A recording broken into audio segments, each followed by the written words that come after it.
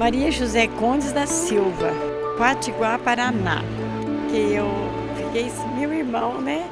Meu irmão morreu, é o último irmão que eu tinha vivo, morreu e eu fiquei doente com depressão e agarrei com o Divino Pai Eterno e estou me libertando dessa depressão.